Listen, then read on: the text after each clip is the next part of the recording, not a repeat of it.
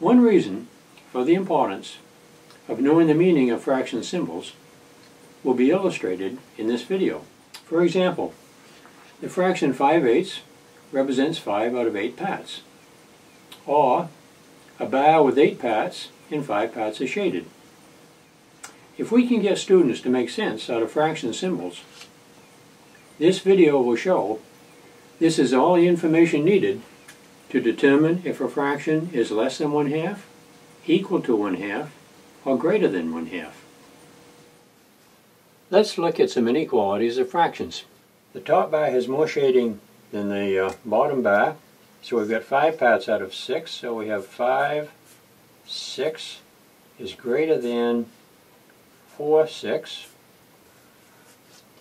And over here the top bar has less shading, so we've got 5 parts out of 12.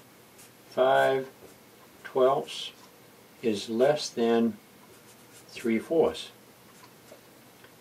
Now one way to remember these symbols that students sometimes have trouble with is that the uh, you can think of the uh, opening here as a mouth that faces the larger number. So here 5 6 is larger and over here the uh, mouth faces the larger number 3 fourths. Another way to think of these symbols and we'll use uh, toothpicks here to illustrate this, is to think about the equality sign. In fact, this may be how the equality sign came about. They were looking for something that uh, suggested equality, and what could be more equal than two lines, uh, line segments with the same length and the same distance between the ends. So it's possible that by using, starting with the equality sign and just tipping these, now the smaller distance here, we'll put the smaller number here, and we've got the larger distance, we'll put the larger number over here.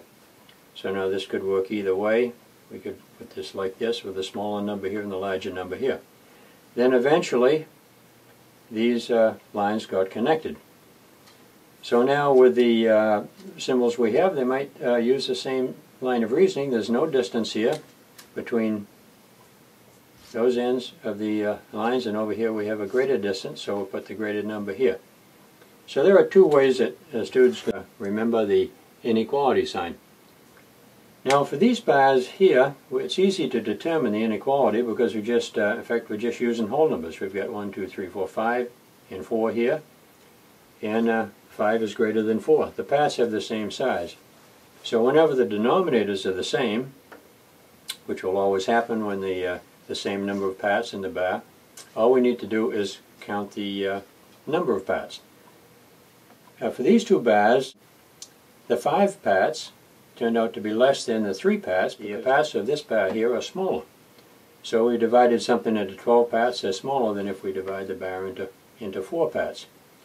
So now what we do, and we'll be doing this in the next video, is to replace these two bars by bars having the same amount of shading which have the same size parts, and then we'll be back to this situation where we can determine an inequality by looking at the numerators. For now, let's continue with some other important observations. You can ask the students to find all the fraction bars that are half shaded and uh, write their fractions and look for patterns. We've got one half here and two fourths three pats out of six, five pats out of ten, six pats out of twelve. So we have one half equal to two fourths, equal to three sixths, equal to five tenths, equal to six twelfths. One thing students will notice, if the numerator is half the denominator, the fraction equals one half and students should be able to go back from the fractions to explain why. We have a fraction whose bar has 10 parts and 5 parts are shaded. So the bar is half shaded and this fraction is equal to 1 half. Let's look at a list of fractions and think about this test for fractions that are equal to a half. Now for uh, 3 eighths, the bar would have 8 parts and 3 parts would be shaded. The bar for this fraction is less than half shaded and this fraction is less than half. For this, uh, the bar for this fraction has 12 parts, 7 parts are shaded, so it's greater than half shaded and this fraction is greater than half. the bar for this fraction is 14 parts and 7 are shaded, so this fraction is equal to 1 half. one, one activity that uh, you can do with students is to put up a list of fractions, uh, flash fractions at them, and they either give thumbs up or thumbs down. Thumbs up if it's greater than a half, thumbs down if it's less than a half. Now, when the uh, denominators are odd numbers, the bar for the fraction is not going to be half shaded, but we can still uh, determine if the fraction is greater than half or less than half. Half of 15 is 7 and a half. 6 is less than 7 and a half, so this fraction is going to be less than 1 half. Half of uh, 7 is 3 and a half. 4 is greater than 3 and a half, so this fraction is going to be greater than 1 half.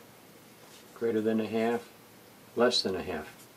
So just from understanding fraction symbols, the students can tell if a fraction is less than 1 half, equal to 1 half, or greater than 1 half. As we go through these videos, you may be noticing how often questions can be answered by knowing the meaning of fraction symbols. For example, the fraction 6 sevenths represents 6 out of 7 and is almost a whole. Being able to attach a visual image to fractions and to make sense out of these symbols is very important. Here are eight of the 16 games on fractionbars.com. We will look at Take a Chance. This game involves comparing fractions to one half. Take a Chance uses fraction playing cards that are turned face down. Two cards are turned over. If one is greater than or equal to one half and one is less than one half, the player wins the two cards. If this condition is not satisfied, the player can turn over two more cards. The player wins all four cards if two are greater than or equal to one half and two are less than one half. If the player knows the four cards don't satisfy the condition and clicks No, the player wins one card. If the player wins 20 or more of the 32 cards, the player wins the game.